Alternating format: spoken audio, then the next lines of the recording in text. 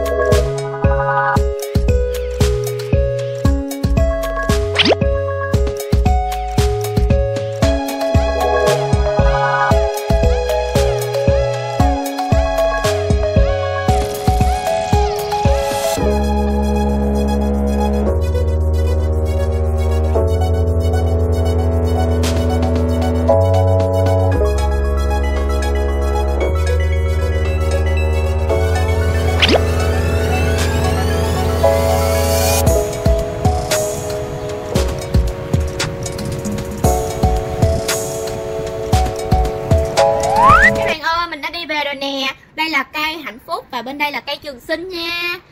Đây các bạn thấy không? Cây này nè là ba cái lá này nó chụm lại là hình trái tim nè. Đó, đó. Bây giờ thì mình sẽ lau những cái lá này Bởi vì đi đường nó sẽ bụi các bạn. Nâng niu thôi. Cho nó sạch.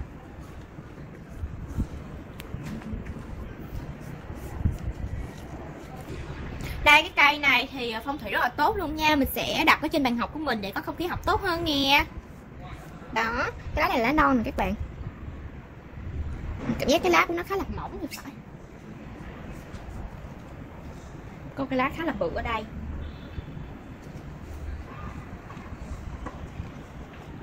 Đây, hai cái cây này thì mình không có để nắng gắt như ở ngoài kia nha. Đó, buổi trưa thì ờ, nó sẽ bị chết đó các bạn. Nên là mình để trong nhà gần cửa sổ có một ít nắng thôi, chứ không cần phải gắt keo quá.